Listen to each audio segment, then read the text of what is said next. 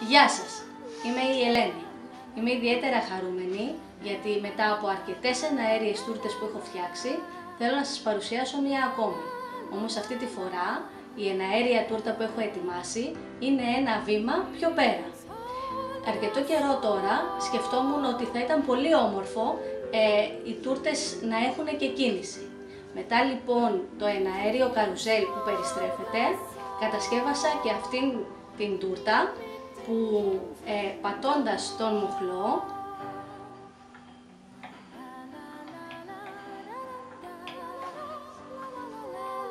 ο Μάρτιν από το παιδικό μας ε, παραμύθι Νίλς Χόλγκερσον ε, φαίνεται πως τα φτερά του κουνιούνται, ανεβοκατεβαίνουν.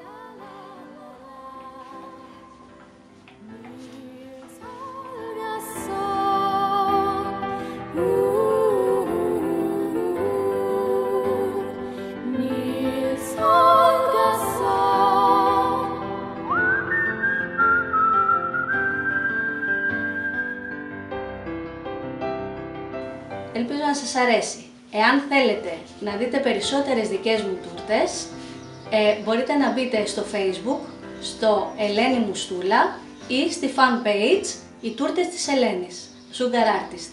Ευχαριστώ πολύ.